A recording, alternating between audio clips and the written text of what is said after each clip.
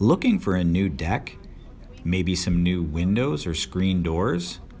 How about a bathroom upgrade? If that doesn't cut it, maybe you need new knives, or at least sharper ones. Or maybe you're just hoping to keep the leaves out of your gutters. With thoughts of spring on everyone's mind, you might want to check out the Greater Hamilton Home and Garden Show on this weekend at First Ontario Centre. Dozens of vendors are on hand to meet your needs both inside or outside your home. Also, there are workshops covering a variety of topics, a kids zone, and more.